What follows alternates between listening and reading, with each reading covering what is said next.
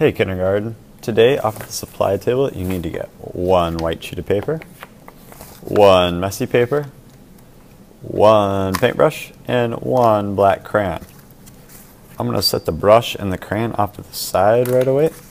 And we're going to start off by putting our name on the back of our white sheet of paper, just like we do for every class. Mr. Calvert, and you are my K, and whatever your secret code is, so either A, B, or C flip that white sheet over, and today we're going to be drawing a cat inspired by Paul Klee. So I'm going to start off by drawing a nice big circle head. Right, we can see that it's pretty big. Right, doesn't take up my entire sheet of paper, but about half of it. From there, I'm going to draw two diagonals coming down from the head. This is going to be my body. I need some cat ears so that way my cat can hear something. So I'm going to draw two triangles at the tippy top. Like that. To make the mouth, that's going to be another little triangle. So I'm just drawing this little V shape.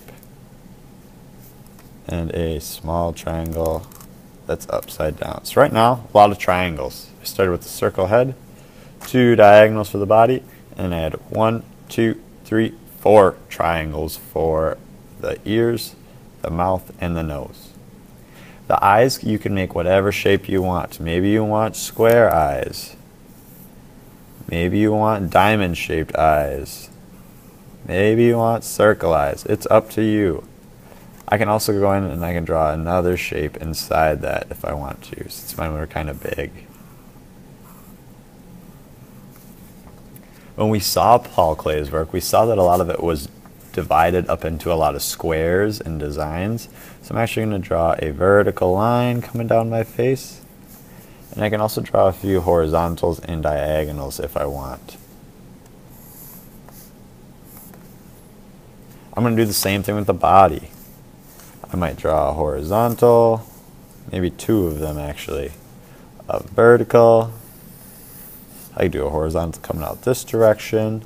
It's up to you how you want to break up your body. But notice that just by drawing some simple lines, I get all these boxes now. And I can go in and I can add some fancier patterns now. So I start off by drawing the cat. Now I'm drawing some lines to break them up into some different shapes.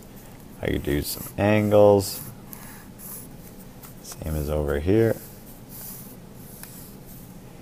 maybe a curved line like that. Don't need to do it to everyone. Maybe I'll do something like this, these curves. I'm pretty happy with how my cat looks.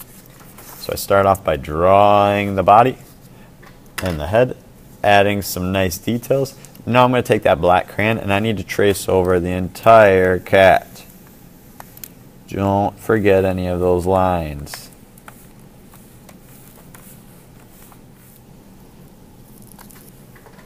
Alright, so I've drawn my cat, I've traced them. My very last thing I'm going to do today is I'm just going to paint the background. We're not going to paint the actual cat today, we'll save that for next class.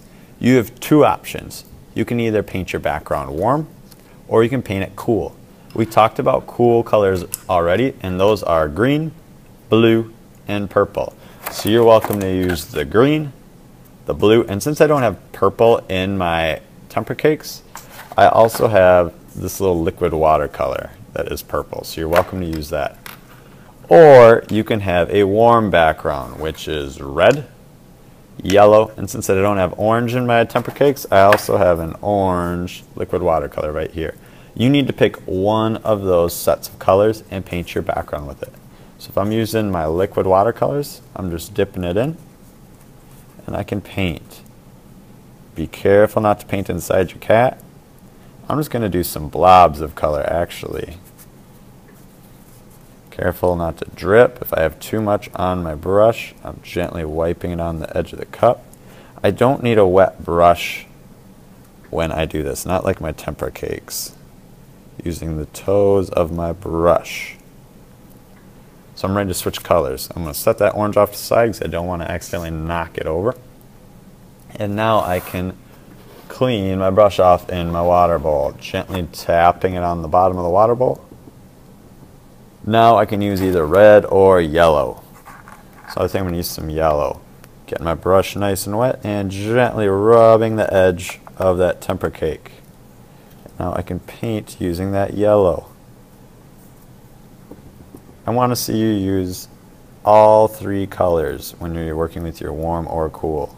Right, so you can't just have an all orange background, can't just have an orange and yellow background. I would like to see you try all three colors. Using the toes of my brush today. I'm going to be keeping an eye out for good brush users today. Almost done. Just got to use some red now. Get my brush nice and wet. Gently rubbing that temper cake. Notice that I don't swirl it around the entire thing. I just do one little spot. When you get this far, you are done for the day. So you need to start off by drawing your cat, then tracing him with a black crayon. Then we're choosing either warm or cool colors to paint the background. You can't use both today. All right. When you're done, this goes at the bottom of the drying rack. Make sure that your messy paper goes underneath it when it goes on the drying rack.